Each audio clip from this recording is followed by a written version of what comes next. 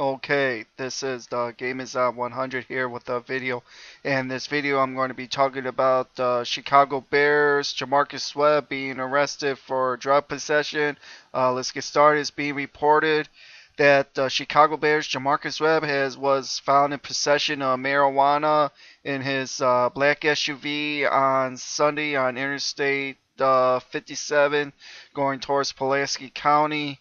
Officials said um, he said that Webb was uh, clocked 11 miles an hour over the 65 mile an hour speed limit about six hours south of the Chicago Sunday evening. Um, J'Marcus Webb was posted uh, $500 and, and was released Monday.